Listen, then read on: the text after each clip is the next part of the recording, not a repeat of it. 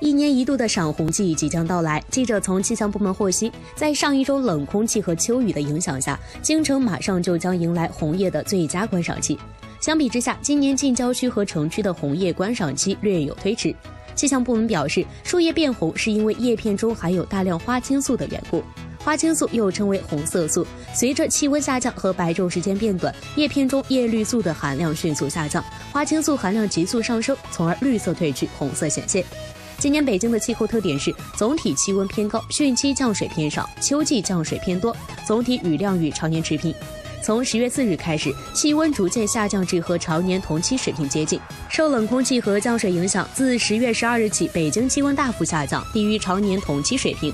十三日和十四日早晨，远郊部分站点出现了霜冻，使红叶迅速变红。目前看来，喇叭沟门原始森林公园、北宫国家森林公园、圆明园公园等地的红叶已经陆续在变红。本周末天气晴好，喜欢赏红叶的市民可以趁着好天气前行了。